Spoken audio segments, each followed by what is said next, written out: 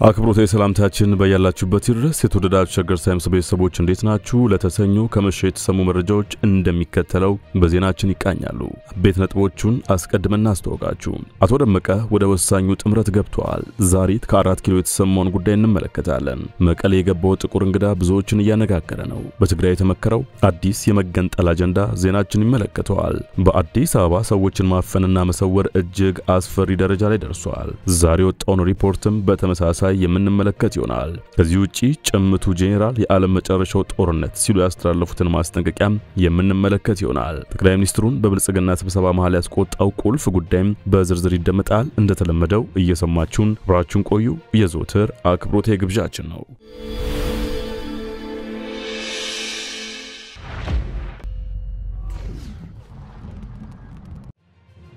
ወደ ቀዳሚ ጉዳያችን አመራን። መቀሌ የገባው ጥቁር እንግዳ ብዙዎችን እያነጋገረ ነው። በትግራይ የተመከረው አዲስ የመገንጠል አጀንዳ በአፍሪካ ቀንድ የአሜሪካ ልዩ መልእክተኛ አምባሳደር ማይክ ሐመር ዛሬ ማለዳ በትግራይ ክልል መቀሌ ገብተዋል። ልዩ መልእክተኛው ወደ መቀሌ ያቀኑት ከትግራይ ክልል ጊዜያዊ አስተዳደር ከፍተኛ አመራሮች ጋር ለመነጋገር መሆኑም ተገልጿል። ሐመር መቀሌ አሉላ አባነጋ አውሮፕላን ማረፊያ ሲደርሱ በትግራይ ጊዜያዊ አስተዳደር ፕሬዝዳንት ጌታቸው ረዳን ጨምሮ በአስተዳደሩ የካቢኔ አባላት አቀባበል እንደተደረገላቸው የክልሉ ቴሌቪዥን ጣቢያ ዘግቧል። በትግራይ ቆይታቸውም በፕሪቶሪያ ስምምነት አፈጻጸም በሽግግር ፍትህና ተጠያቂነት እንዲሁም ሌሎች ወቅታዊ ጉዳዮች ላይ ይመክራሉ ተብሎ ይጠበቃል። አምባሳደሩና በኢትዮጵያ የአሜሪካ ጉዳይ አስፈጻሚ አምባሳደር ትሬሲ አና ጃኮብሰን ከጊዜያዊ አስተዳደር ፕሬዝዳንት ጌታቸው ረዳ ጋር መወያየታቸውም ተነግሯል። ማይክ ካለፈው ረቡዕ ጀምሮ በኢትዮጵያ ጉብኝት እያደረጉ ሲሆን በኢትዮጵያ ቆይታቸውም የሽግግር ፍትህና የተጠያቂነት ጉዳይን እንዲሁም ትጥቅ ማስፈታትን፣ ተዋጊዎችን መበተንና መልሶ ማቋቋምን ጨምሮ የስምምነቱ አተገባበር ሂደትና ቅድሚያ ሊሰጣቸው ስለሚገቡ ጉዳዮች እንደሚያነሱም የአሜሪካ ውጭ ጉዳይ ሚኒስቴር መስሪያ ቤት ማስታወቁ ይታወሳል። በዚህ ስብሰባም ሆነ ከዚህ ቀደም በክልሉ የሚደረጉ የመድረክ ዝግጅቶች የኢትዮጵያን ሰንደቅ ዓላማ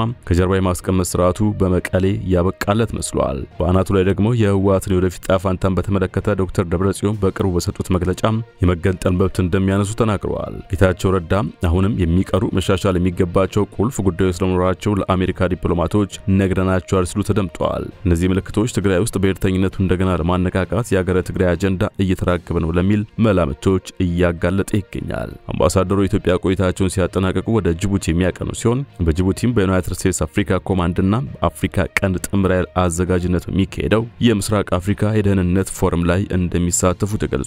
በተጨማሪም ከጅቡቲ ከፍተኛ ባለስልጣናት ጋር ተገናኝተው በሁለትዮሽና በአፍሪካ ቀንድ ጉዳዮች ላይ ይመክራሉ የተባለ ሲሆን የምስራቅ አፍሪካ የልማት በይነ መንግስታት ድርጅትን ኢጋድ የቅርብ ጊዜያት እንቅስቃሴዎችን ለመቃኘት ከተቋሙ ዋና ጸሐፊ ወርቅነህ ገበየሁ ጋር እንደሚገናኙም ተጠቁመዋል።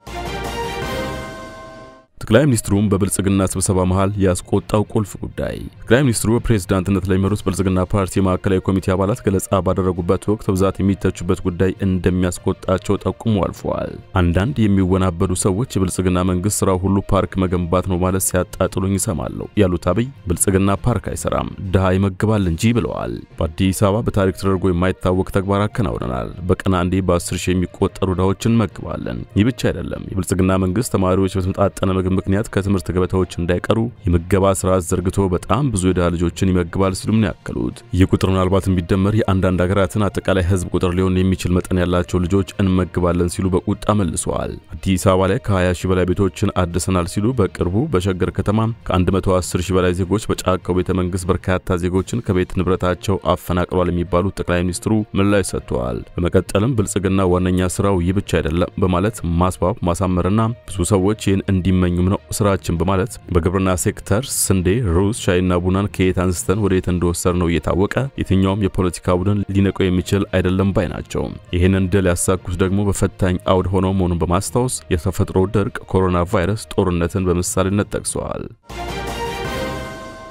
አቶ ደመቀ ወደ ወሳኙ ጥምረት ገብተዋል። ኢትዮጵያና ብራዚል ያላቸውን ሁለትዮሽና የባለብዙ ወገን ዲፕሎማሲያዊ ግንኙነት ወደ ላቀ ደረጃ ለማሸጋገር ተስማምተዋል። ምክትል ጠቅላይና የውጭ ጉዳይ ሚኒስትሩ ደመቀ መኮንን ከብራዚል የውጭ ጉዳይ ሚኒስትር ማውሮ ቪዬራ ጋር የሁለቱን ሀገራት ግንኙነት ወደ ተሻለ ደረጃ ማሳደግ በሚቻልባቸው ጉዳዮች ዙሪያ መክረዋል። ምክትል ጠቅላይ ሚኒስትሩ ኢትዮጵያ ከብራዚል ጋር ያላትን ግንኙነት ለማጠናከር ጊዜው አሁን መሆኑን ጠቅሰው በብራዚል ዳግም ኤምባሲዋን መክፈቷም ግንኙነቱን ይበልጥ ከፍ ለማድረግ ያለመ እንደሆነ አስታውሰዋል። ብራዚል በዘላቂ የደን ልማት አሰራር፣ በጥጥ ምርትና በአፈር ድንበር ጥበቃ ላይ ለኢትዮጵያ እያደረገች ላለችው መልካም አበርክቶም ምክትል ጠቅላይ ሚኒስትሩ አድናቆታቸውን ገልጸዋል። አቶ ደመቀ ኢትዮጵያ በኢንቨስትመንት፣ አቪዬሽን፣ ቱሪዝም፣ ግብርና፣ ማምረቻው ዘርፍ በአካባቢ ጥበቃና በማዕድንና ኢነርጂ ከብራዚል ጋር በትብብር ለመስራት ያላትን ፍላጎት ለውጭ ጉዳይ ሚኒስትሩ አብራርተዋል። የብራዚሉ የውጭ ጉዳይ ሚኒስትር ማውሮ ቪዬራ በበኩላቸው ሀገራቸው በስፖርትና የተለያዩ መስኮች ለመደገፍ ዝግጁ መሆኗን ጠቅሰው ከሁለትዮሽ ግንኙነት ባሻገር ባለ ብዙ ወገን የዲፕሎማሲ መድረኮች ከኢትዮጵያ ጋር በትብብር ለመስራት ዝግጁ መሆኗን አረጋግጠዋል። በሁለቱ ሀገራት መካከል ቀጣይ የፖለቲካ ውይይት እንዲካሄድም መግባባት ላይ መደረሱን የውጭ ጉዳይ ሚኒስቴር መረጃ ያመላክታል።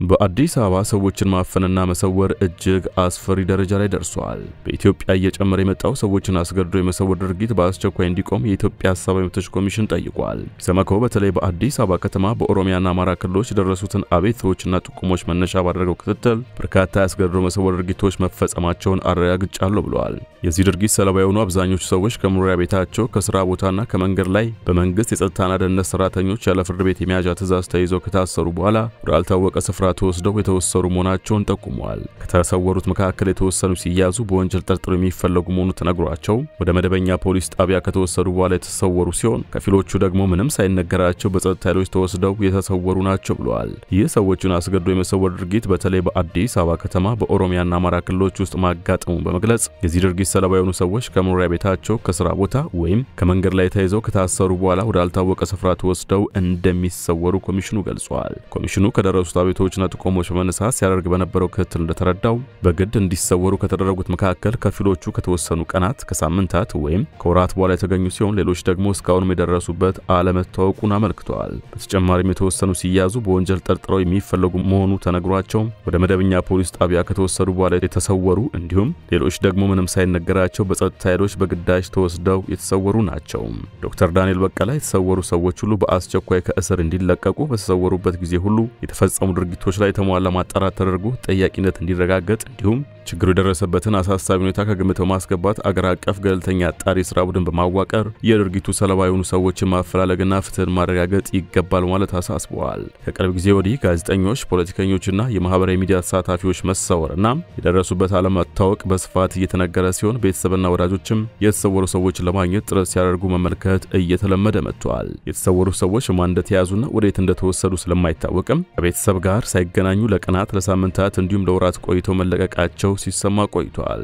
በእንዲህ አይነት ሁኔታ የተያዙ ሰዎች ራሳቸው የት እንደነበሩ እንደማያውቁና ፍርድ ቤት ሳይቀርቡ መቆየታቸው የተናገሩ ሲሆን አካላዊና ስነልቦናዊ ጥቃት እንደተፈጸመባቸው በማህበራዊ መገናኛ መድረኮች ላይ ሲናገሩ በተደጋጋሚ ተሰምተዋል። የኢትዮጵያ ሰብዓዊ መብቶች ኮሚሽን ይህን ጉዳይ በተመለከተ ባወጣው መግለጫ ላይ መንግስት ይህንን ሰዎች አስገድደው የመሰወር ድርጊት እንዲያስቆምና በፈጻሚዎቹ ላይ እርምጃ እንዲወስድ ጠይቋል። ዋና ኮሚሽነሩ ዶክተር ዳንኤል ጨምረው ይህንን ወንጀል ውጤታማ በሆነ መንገድ ለመከላከል ረዳ ዘንድ ሁሉንም ሰዎች ከአስገድዶ መሰወር ለመጠበቅ የተደረገውን ዓለም አቀፍ ስምምነትን ኢትዮጵያ በአስቸኳይ ተቀብላ እንድታጸድቅ ጥሪ አቅርበዋል።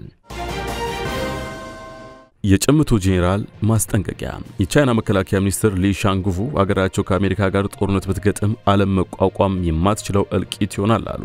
ሚኒስትሩ ስልጣናቸውን ከያዙ በኋላ ትልቅ ግምት በተሰጠው የመጀመሪያው ይፋ ንግግራቸው አንዳንድ አገራት በእስያ አህጉር የጦር መሳሪያ መታጠቅ እሽቅድድም ይዟል ብለዋል። ጄኔራል ሊ ሻንጉፉ አሜሪካና ቻይና በማያግባቧቸው ጉዳዮች ላይ የጋራ አቋም ለመያዝ ዓለም በቂያቸው ነች ብለዋል። ቀደም ሲል የቻይና ጦር መርከብ በታይዋን ሰርጥ አደገኛ በሆነ ሁኔታ ከአሜሪካና ከካናዳ የጦር መርከቦች ጋር ከመላተም ለጥቂት ነበር የተረፈችው ተብሎ ነበር። ቻይና ግን ለክስተቱ ሁለቱን ሀገራት ወቅሳለች። ቻይና አሜሪካና ካናዳ ሆነ ብለው ጠብ የሚያጭር ተግባር ፈጽመዋል ብላለች። ሁለቱ የሰሜን አሜሪካ ሀገራት ደግሞ ዓለም አቀፍ ሕግ በሚፈቅደው መሰረት መርከቦቻችን በዓለም አቀፍ የውሃ ክልል ውስጥ እየቀዘፉ ነበር ብለዋል። ባለፈው ዳር ወር ላይ የቻይና መከላከያ ሚኒስትር ሆነው የተሾሙት ጄኔራል ሊ አሜሪካ የቀዝቃዛው ጦርነት አመለካከትን ታራምዳለች ሲሉ የተቹ ሲሆን ይህም ከፍተኛ የደህንነት ስጋትን የሚደቅን ነው ብለዋል። ጄኔራሉ የታይዋን ሰርጥ ላይ ስላጋጠመው ክስተት ሲጠየቁ በቀጠናው የደህንነት ስጋት እየፈጠሩ ያሉት ከቀጠና ውጭ ያሉ አገራት ናቸው ካሉት ባሻገር ዝርዝር ነገር ከመናገር ተቆጥበዋል። በአሜሪካ ማዕቀብ ተጥሎባቸው የሚገኙት የቻይና መከላከያ ሚኒስትር ይህን ያሉት በሲንጋፖር በተከናወነ የእስያ ፓሲፊክ ዓመታዊ የደህንነት ስብሰባ ላይ ሲሆን በዚህ ስብሰባ ላይ የአሜሪካ መከላከያ ሚኒስትር ሎይድ ኦስቲን ተሳታፊ ነበሩ።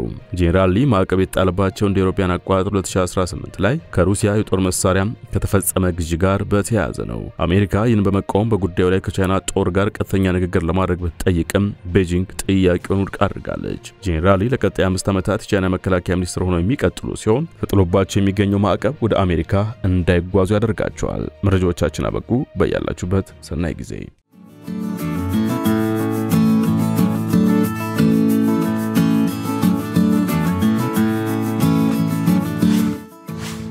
ሸገር ታይምስ ሚዲያን ሰብስክራይብ በማድረግና ደወሉን በመጫን ይከተሉን።